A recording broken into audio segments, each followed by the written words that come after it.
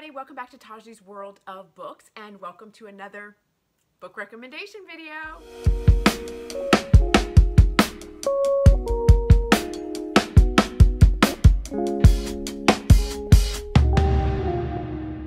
Hey everybody, so welcome back and today I have got some more book recommendations for you. I'm really excited to talk about two different series. One series I'm going to talk about that's complete, that's a historical romance. Ah, What? Taji read a historical? Yes, I did. I did. So one's a historical. Another is it's a full like nine books, I think. No, no, there's a, like 11 books in the series, but I'm really dividing them into two separate conversations and you'll see why I'm doing that in a minute. So without further ado, let's get into it. Okay, so the first series that I want to talk about is a historical. I know I don't read historicals typically, but this one just, when you tell me that there's some kink and there's some BDSM, I'm like, I'll do it. I'll check it out. I'll see. And it delivered. And this is Scarlett Peckham. There are three books in the series. I don't know what the series is called.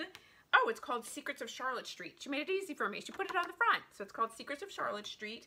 And the first one is The Duke I Tempted. And I absolutely loved this one. This is about Poppy and the Duke of Westmead. And boy, this is a marriage of convenience. It is a, there's like a trauma history as well. There is, this is an enemies to lovers type situation.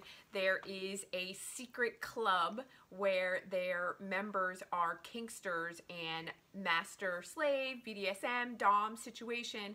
And the Duke of Westmead has a secret. And his secret is that he likes to visit his dominatrix and he likes to have his ass handed to him. Like literally like he wants like you know because he basically it started off i think in a way for him to to feel something after a tragic event happened to him.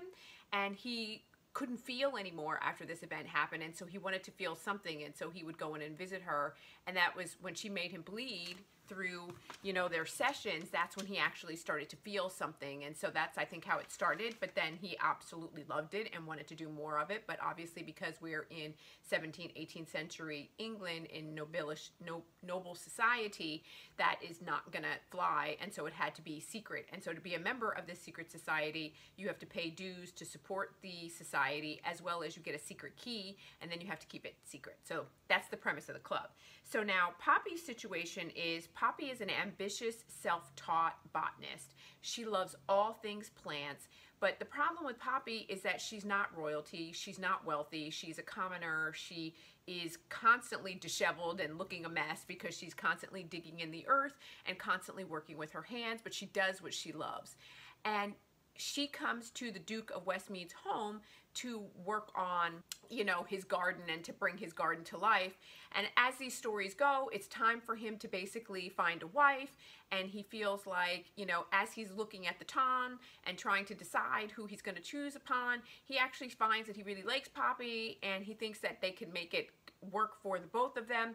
They actually are put into a compromising situation and he's not going to leave her compromised. And so it is a marriage of convenience. And it's about their story and how they um, develop relationships and feelings for one another. She learns that the tragedy that happened to Duke, the Duke of Westmead is that his wife and child had passed away 13 years earlier and she also has some significant trauma. So it's also it's really about being vulnerable in front of your lover and allowing your lover to see you for who you really are and hoping that they accept you.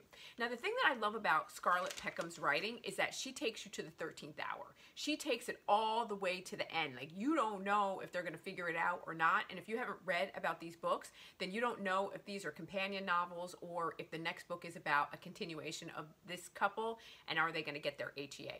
What I do like about this series is that you do see all of the couples in previous or, or, in subsequent books. So we get to see how things are faring with them and how things go. But this was really, really good. This was angsty. I gave it a five angst. I gave it a spice of a four because it gets spicy, okay? Really, really spicy and I gave it an overall five. Really good. This is the best book I think in this in this series. It's really it really delivered in a lot of ways. The next book in the series is The Earl I Ruined, and this is about the Duke of Westmead's sister, Lady Constance, and they sort of set it up for you in that book as well. Lady Constance is a busybody. she's a meddlesome person. She gets up in everybody's business and she thinks that she knows what's going on. And because she is meddling in things, she causes a lot of drama. And her brother has warned her time and time again stay out of people's affairs. You don't know what's going on behind closed door because she was meddlesome in this book as well. And it worked out. And she says, Well, it worked out fine when I did blah, blah, blah.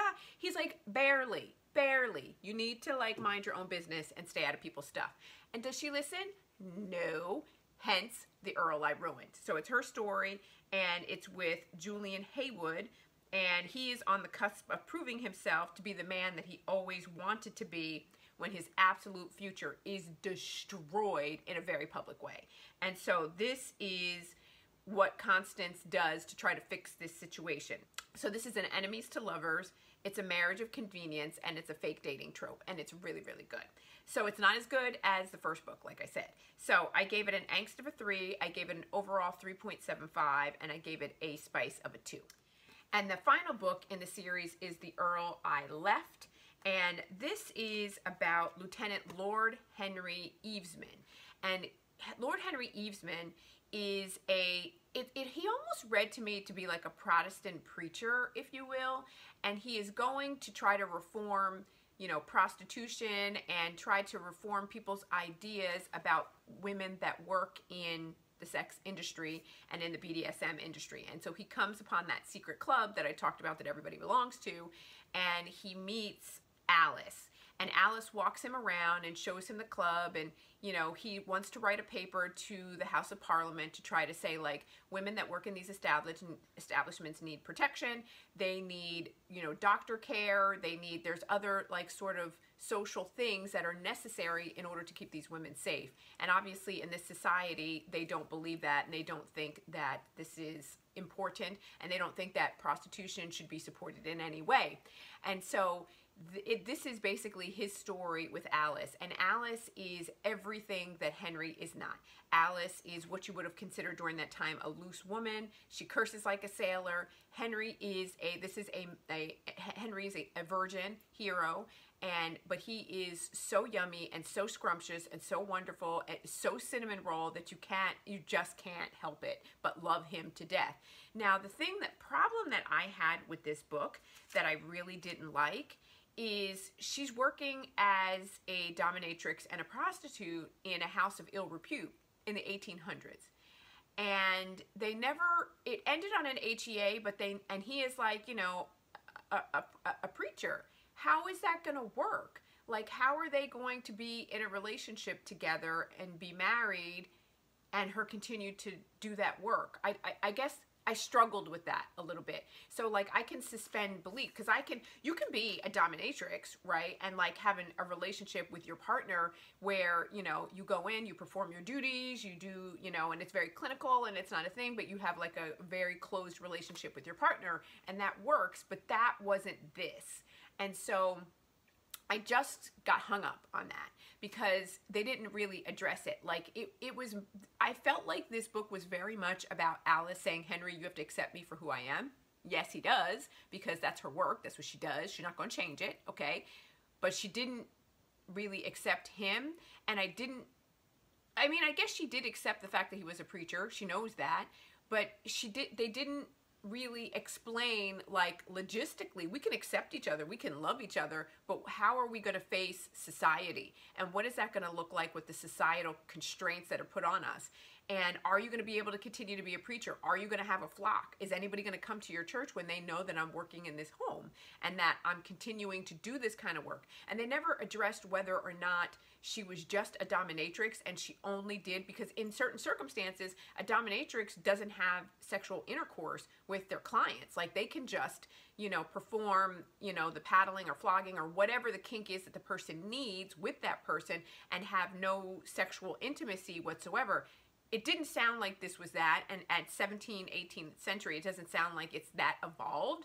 So i don't know maybe i'm thinking more about it than i needed to but i guess i was i had difficulty suspending belief with this particular one. I liked the story it was angsty and he gave up his entire family to be with her. Like he's not going to talk to his brother he's not going to talk to his father he can't you know during that time because his father said that um, he had to leave the home that he's not going to see his mother he's not going to see his sister. And i'm just it, it, just seemed like a lot. So for that, I gave it a three. The spice, there was no spice in here at all because they they they hooked up like once towards the very end of the book and it wasn't even anything. So I gave it a one. And the angst was like a three. So this was my least favorite book in the series. Take it for what it's worth. Now, I do believe that Scarlett Peckham is still writing in this particular series, and I believe that there will be another book that'll come out in the future, although I don't know when that will be. So stay tuned if that's something that you are interested in, and I think you should go over to our website and check it out. Okay, so the next series that I want to talk about, and I do not hear enough people talking about this series. I don't know why, because it is so damn good. It is really, really good. For me, it ranks up there with J.R. Ward, Black Dagger Brotherhood, Sherilyn Kenyon's The, the Dark series. Um, it ranks up there with Jennifer L. Armentrout series. It ranks up there with um, any of those other paranormal authors that we have come to know and love. Kresley Cole, it's not quite as good as Kresley Cole. And up. It's good. Kresley Cole is like another level. I'm just saying. Anyway, I'm like all over the place today. So this is Karen Marie Moning, and this is her Fever series, right? And I, it's been on my shelf for a while, and I'm cleaning out my shelves, and I'm getting close to like getting down to, I probably have like 15 book boxes down there of books that I'm unhauling. So if you guys are interested in seeing an unhaul, like let me know. I will totally film that. Like, cause I'm trying to clear out the shelves and get rid of the fluff and like only get down to the stuff I really want to read. But I digress back to this. Darkfever is, huh, this is a complicated series to explain. So I'm going to give you just a brief synopsis overall, and then we'll go into sort of each book. And each book progressively gets better. And I am going to say that I'm going to talk about the first five books in the series because that five books follows three main characters which is a significant love triangle, and you're trying to figure out what the hell is going on. And by that fifth and fifth book, it's resolved and we know, and then it sort of then follows. It's the end of this sort of saga, and it starts to follow other characters, even though we see these characters later on.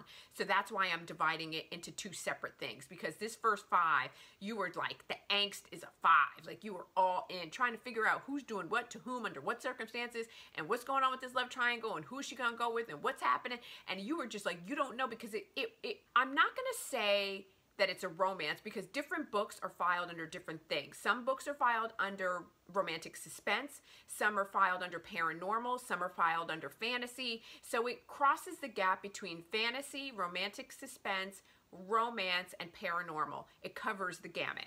And so here's what this series is about.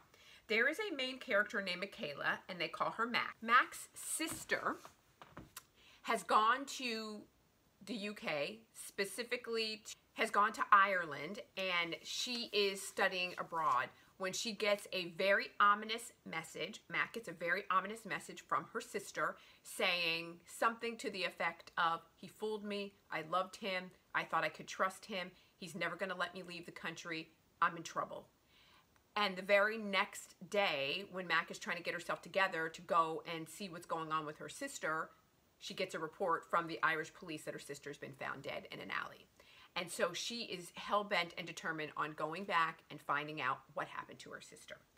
Okay, so then what we find in this particular world is that when she starts to go to Ireland, she learns about Irish fae and folklore and all of these different circumstances about mysticism, right? That her sister was entrenched in. So she learns that there is a wall between humans and fae. She learns that there is a Seelie and an Unseelie court. And the Unseelie are, in this particular world, are lethal, disgusting, and gross. And these books are one of the most graphically disgusting sort of views of like she talks about these creatures that have like eyes all over their body and they have bulbous heads and mucus pus and you're reading it and the way she writes it you're just like ooh that's so gross. But I haven't read something so descriptive that really I could see it. I it could put me in it. Like I was I think I was like eating a sandwich and I was like oh no. I was like I, no no no no no no and that's hard for an author to do and so I think that she did a really great job so then the Seelie court are not as deadly, but don't don't sleep on them because the Seelie are ruthless.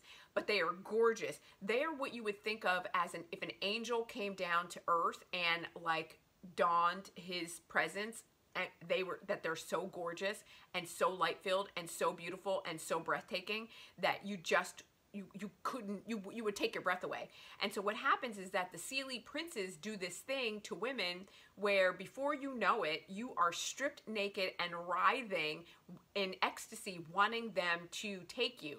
And if they take you under those circumstances, they can turn you into and I forget the terminology, but they can turn you into basically a pariah. And the pariah is basically a sex slave. They can turn you into a mindless sex slave that the only thing that you care about is sex and you will have sex with them until you die.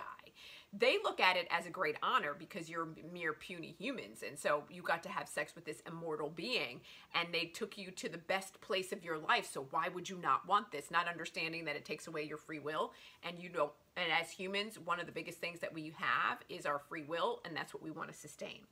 Okay, so she then, when Michaela is there trying to figure out what happened to her sister, she learns that she is what's called a, a, a sidhe-seer, right?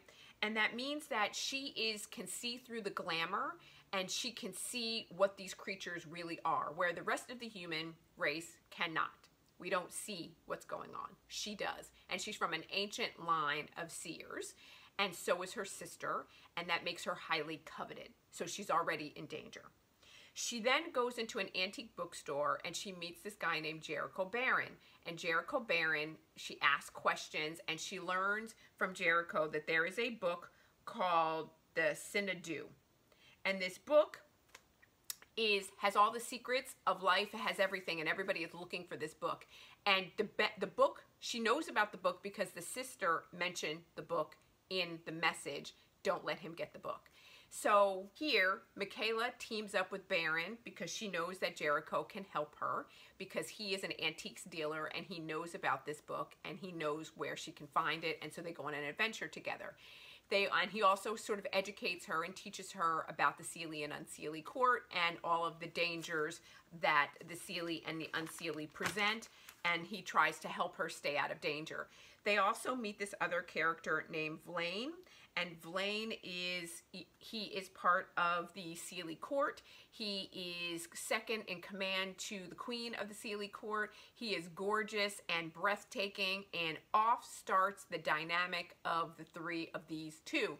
They are vying for her attention, Jericho, Jericho doesn't really vie for her attention. Jericho just is Jericho. And Jericho is older and distinguished and handsome and gorgeous and dapper and debonair and just, whew, he just, just exudes sex. Just exudes it just by being in the room. V'lane, on the other hand, is a Seelie prince. And so he can turn up his, his magnetism. And so V'lane has done situations to her where she stripped off her clothes and he put a cloak around them, but she slipped off her clothes in the middle of a museum and is writhing and wanting him to enter her and like and is like really pursuing her heavily but using his Seelie powers to do it. And so there's a lot of kind of questions about his ethical how ethical he is. However, V'lane is come through in so so many ways and so V'lane is always there. So the love triangle and you're trying to figure out who's bad, who's good, What's the black zone? What's the dead zone? What's going on with the Unseelie? Who's trying to take down the wards? Who is who's evil? Who's good? Who's for? Who's against? You never know what the heck is going on, and it is a constant twists and turns, and it's just all over the place, always. And you are on the edge of your seat from page one. So let me say, this is not the best book in the series, okay? It gets better if you stick with it. It gets better, better, better, better. By the time you get to this fifth book that I'm going to talk about, it's off the chain. Off the freaking chain. So good. So this one I gave an overall 3.75. I gave it an angst of a 3. And the spice is like a 1 because it's not even there because we're, we're getting introduced to this world as we go. The next book in the series is Bloodfever.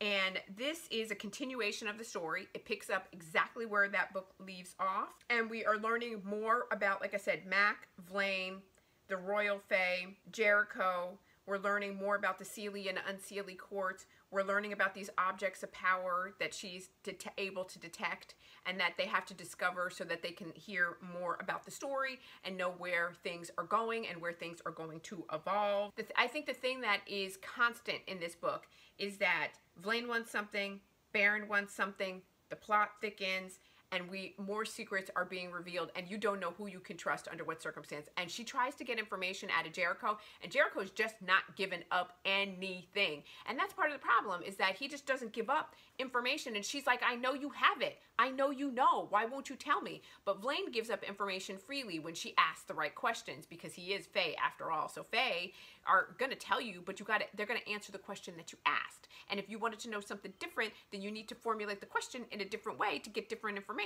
so i'm just like mm, i don't know about you but good so this was a four angst a three and spice a one little more we're getting a little more but story still evolving Faefever. Okay, so this now has evolved. There are monsters that are walking around in the streets of Dublin. Um, you're learning that everything that you once believed to be true is not true. You are seeing, definitely can see more of the Fae that are going on. There are, there's some suitors that are popping up. Like I said, Baron, V'lane, Christian has popped into the mix. So you're just like, is, what, what's happening with Christian? Because he's showing that he has some interest. Baron and V'lane hate each other. They have a back history. We don't know their back history. We want to know what's going on with them and why do they hate each other other than the fact that they both are vying for Mac's attention. We don't know what Baron is. We're trying to figure out what, what's going on with Baron and his secrets. And this book does not end well.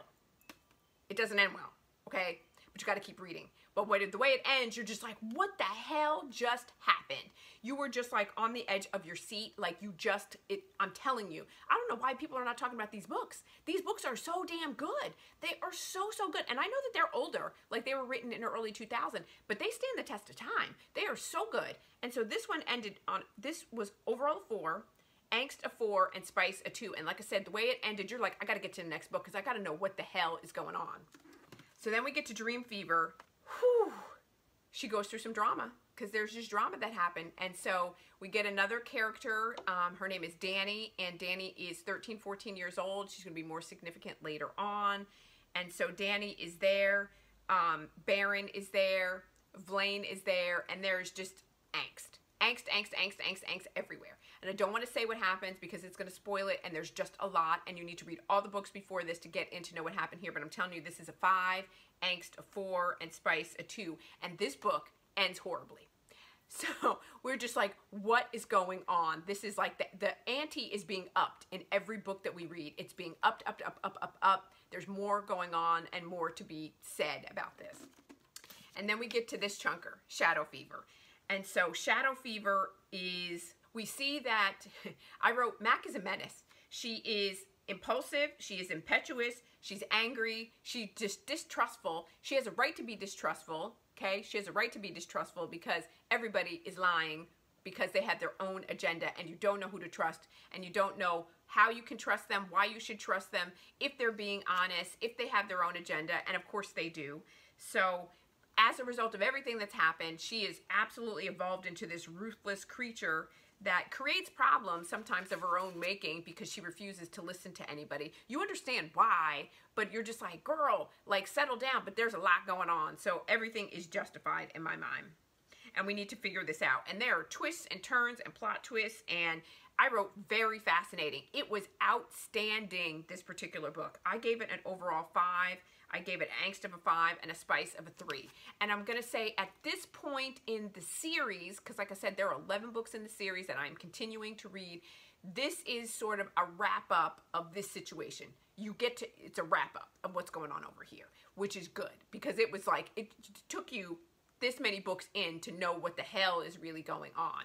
And then in the next video, I'm going to talk about the second half of the series. And the second half of the series is taking things in a little bit of a different direction, but still good nonetheless, still really angsty, still like captivating, twists and turns, fascinating. If you have not read, well, first of all, let me say, if you have read any of Karen Marie Moning's books, please put it in the comments below and tell me what you read and what you thought about it and what you rated it because I will add it to my TBR because I know she's got a Highlander series as well and I think a couple of you have mentioned that you read the Highlander series. So let me know what the rating is and if I'm interested, I will go and check it out. And if you haven't read these books, like please allow some grace in here and hear my recommendation and hope that you think that it'll be interesting because I'm telling you this is like it ranks up there with some of the great paranormal authors that we read all the time and that we absolutely love. She did a great job with this and I can't wait to finish the series and I think that the next video I, I'll do will hopefully wrap up the series so you can see for yourself and check it out if you think that you would be interested.